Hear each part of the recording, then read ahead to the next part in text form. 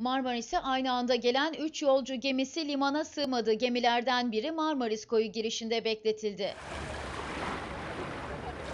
Aynı gün Marmaris'e gelen Ayda Kara ve Mana Cruise isimli lüks yolcu gemileri limana yanaştı. Dream adlı yolcu gemisi ise yer kalmadığı için Marmaris koyu girişinde bekletildi.